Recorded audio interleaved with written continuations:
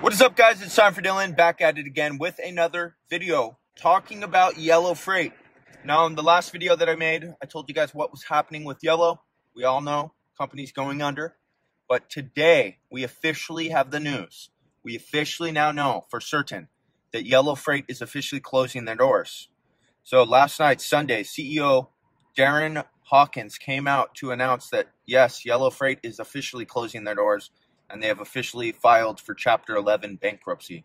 So it's terrible news. Terrible news. Some of us had some hope that Yellow might actually be able to keep their doors open.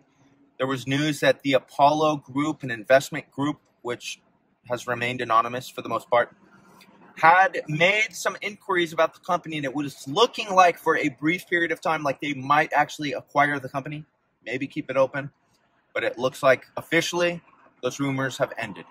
Today, we now know for certain Yellow Freight is officially closing their doors. So it's a sad day in America.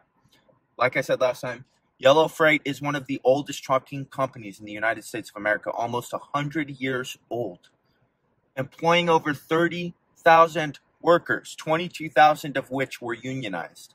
Terrible day, terrible day to think that a trucking company as old as Yellow managed to make it through the Great Depression, the terrible recession of 2008, only to crash now.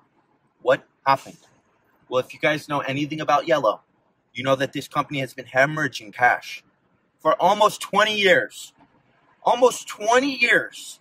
This company has asked the lifeblood of the organization, the workers, the truckers, to take a pay cut for almost 20 years.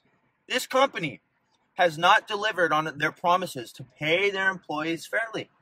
20 years. How do I know this? Because my dad works for Yellow. Or should I say, he used to work for this company. Now this company no longer exists. And there's so many other dads out there that are in this exact same boat. What are they doing? Looking for work now at other companies. It's terrible.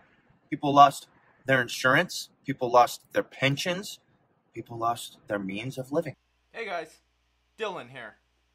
I just wanted to say I decided to open up a GoFundMe for my dad. I'm just asking if anyone is willing to help, even if it's one dollar. Even if you can't give anything, just share it and say a couple prayers for my family and my dad. Hopefully, he gets another job really soon. But I just wanted to say, check out the link in the description if you if you can, if you feel like it, donate for my dad. He really needs some help. So does my mom. Check out the details in the GoFundMe. But thank you guys check out the rest of the video. Terrible day in America, and it's terrible for the truckers. To me, the most disgusting part of this entire ordeal is the fact that the CEO this morning comes out and what does he say? That he blames it on the union. Can you believe this? You know, in my last video, I did give a little bit of blame to the union. And to be fair, yes, I, the union can at times cause problems for companies, especially if you have bad apples. But this by no means is the fault of the union. This is the fault, 100% categorically, of bad management. Bad management. That it's as simple as that. 20 years. My dad and other dads out there, other truck drivers, trying to make an honest living for their families, have had to take pay cuts for the crooked C suite bastards that run this company. And you already know. You already know that those those bastards are having massive checks right now waiting for them when this company finally closes. They're not gonna, they're not losing out on anything. No, who loses out? The truck drivers. The people that make this company work. It's disgusting. It's disgusting. The only silver lining to this cloud is finally these workers can leave and hopefully, potentially, find employment at a better company. But in the meantime, what are they going to do? What are they going to do? It's terrible. It's a terrible day in America. It's a terrible day for truck drivers. And to take it a step further, it's a terrible day for consumers. Historically, Yellow Freight has been known as one of the companies with the cheapest rates out there.